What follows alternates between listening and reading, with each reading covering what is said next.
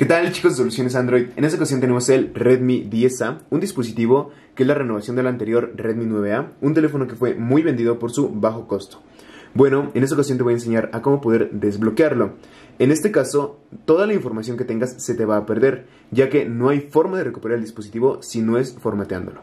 De la misma forma, es importante que le quites chip y memoria para que la información que hay dentro no se pierda, puesto que lo vamos a formatear completamente.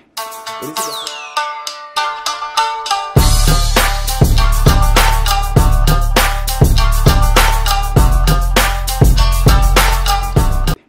En este caso no tenemos ni el PIN, ni tenemos acceso a poderle poner nuestra huella, ni nuestro reconocimiento facial. Entonces lo que vamos a hacer es apagarlo. Vamos a apagar el dispositivo y una vez que esté apagado vamos a presionar la tecla de bajar volumen junto con la de subir volumen. Son las que puedes encontrar aquí en el extremo. Es la primera y la última. O la de hasta arriba y la de hasta abajo. Vamos a ello. Volumen arriba y power juntos al mismo tiempo. Cuando el teléfono prenda soltamos power y dos o tres segundos después soltamos volumen arriba.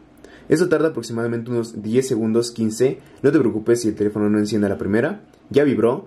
Voy a soltar power y cuando ya prenda voy a soltar volumen arriba. ¿Listo? Ya puedo soltar volumen arriba y espero unos cuantos segundos a que mi dispositivo cambie de menú para que esté desbloqueado.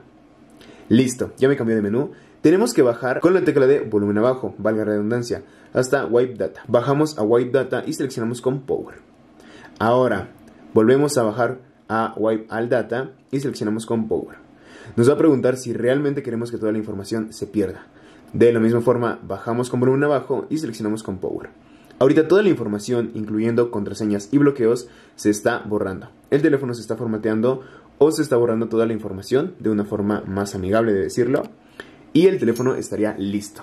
Ahorita nada más esperamos a que inicie normalmente y ya continuaremos con el proceso. Ojo, es muy importante que tengas en cuenta que si no te sabías tu cuenta Google y la tenías ingresada, vas a tener que desbloquearlo si es que no te la sabes. Para poder hacer esto, aquí en la pestañita te voy a dejar un video de cómo poder quitarle la cuenta Google si es que no te la sabes y si es que obviamente pues se la pusiste anteriormente. Si tú nunca se la pusiste o si sí te sabes esta cuenta Google, sin problema vas a poder recuperar tu dispositivo. Si no, pues el video que te dejé te va a funcionar. Y listo, el dispositivo ya acabó el proceso, ahorita está en cámara rápida, se tarda aproximadamente unos 5 minutos, pero para que no esté tanto este video, lo dejé de esta forma. Una vez que inicie, te demuestro que el teléfono ya inició y ya nos va a pedir activarlo. Listo, el dispositivo después de 4 minutos ya inició. Si el tuyo tarda un poquito más o un poquito menos, no te preocupes, déjalo que acabe a su proceso. Siempre y cuando haya tenido batería, más del 30% o 20%, no va a tener ningún problema. Incluso puede hacer esto cargándolo. Pero bueno, Vamos a continuar. Y el teléfono pues ya me pide que lo inicie. Ahorita como te comentaba pues me va a marcar el bloqueo de Google. Pero técnicamente el teléfono ya fue desbloqueado por el PIN.